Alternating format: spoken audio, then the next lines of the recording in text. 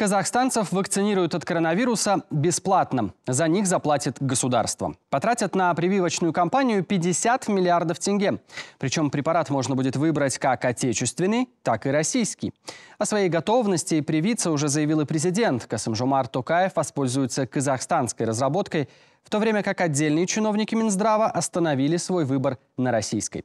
Данара Жуманова знает, когда вакцины станут доступными для населения. До массовой вакцинации в Казахстане осталось меньше недели, и проходить она будет не в самой благоприятной эпид-обстановке.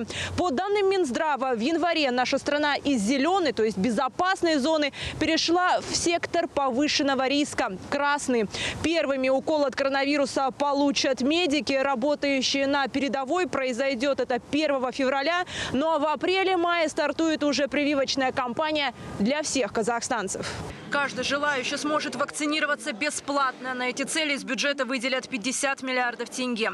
На выбор у населения два препарата – российский «Спутник Ви» и казахстанский «Касковид-Ин». Отечественную вакцину должны зарегистрировать в марте, в то время как «Спутник» уже начали производить на базе Карагандинского фармпредприятия. Вакцинация по всей стране на этом этапе рассматривается за счет средств э, государства.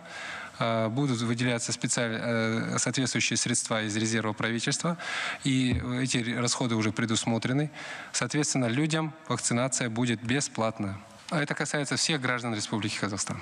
Чиновники посчитали, до конца года привьются от ковида в стране 6 миллионов человек. И если прогнозы не разойдутся с реальностью, это позволит сформировать коллективный иммунитет уже к августу-сентябрю. При условии, что все заявленные 6 миллионов согласятся на вакцинацию.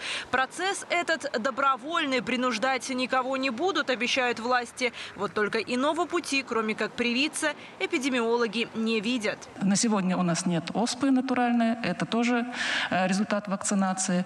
А, сегодня мы практически забыли о таких заболеваниях грозных, которые приводили к летальности. Это дифтерия, чума, сибирская язва столбняк, э, краснуха и так далее, только благодаря вакцинации. Поэтому появление на рынке вакцин против коронавирусной инфекции – это большое достижение. Получить антиковидный укол намерены и сами чиновники. Накануне о своей готовности вакцинироваться заявил президент страны. Касым-Жомар Токаев выбрал казахстанский препарат. А вот в самом Минздраве, как оказалось, мнения разделились.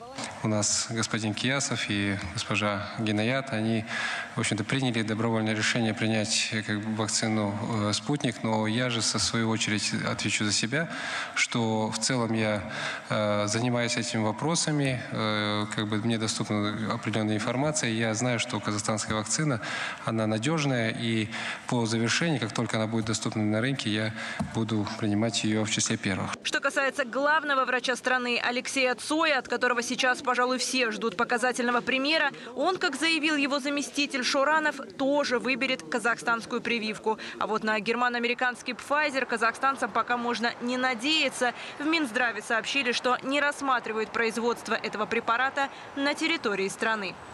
Данара Жуманова, Роман Расулов, столичное бюро КТК.